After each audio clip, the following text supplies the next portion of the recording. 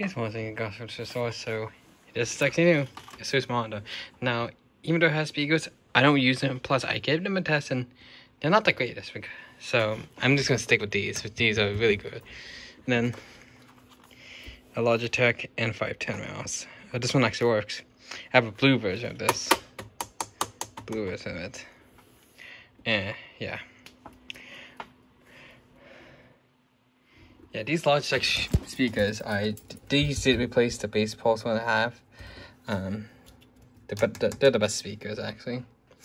So, yeah. And and I actually got this one for two ninety nine, two dollars and ninety nine cents. This one here was by far the expensive one, uh, twenty dollars and ninety nine cents. This one's the most expensive one because it has uh, HDMI uh, DVI VGA. So if I go to display, HDMI, VGA, DVI. Right now this is on HDMI connected to my PC. Now you're probably wondering how do I get all all HD? Uh, so this one does have DisplayPort, but. You get all of these were using HDMI, and probably guessing how I did it.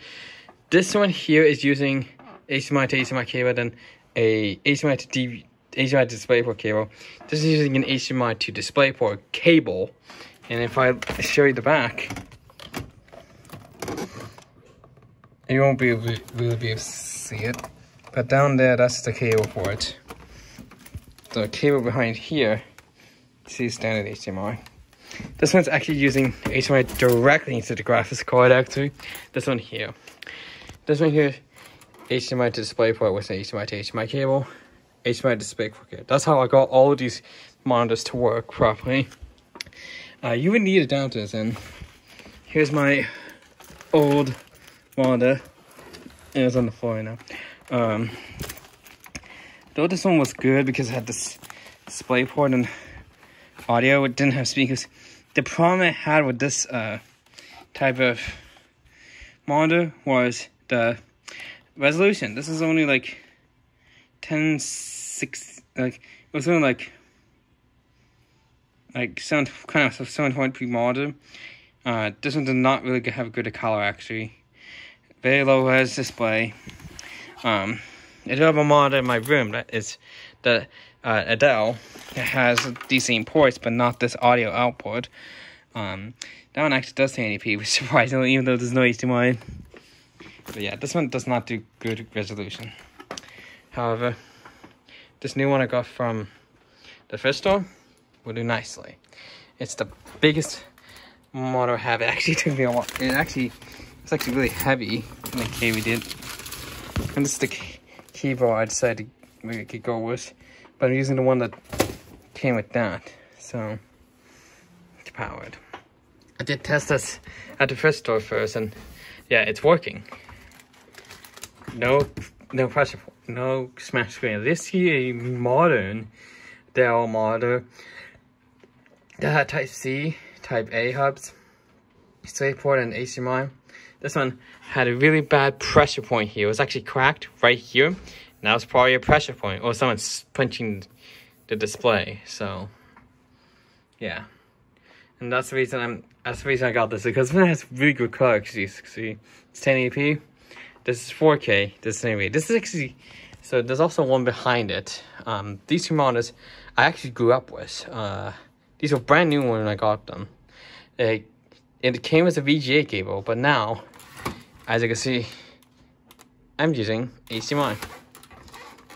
So, um, but that's the cable I used, VGA cable. I used it for my old uh, Toshiba laptop that I used to use for gaming.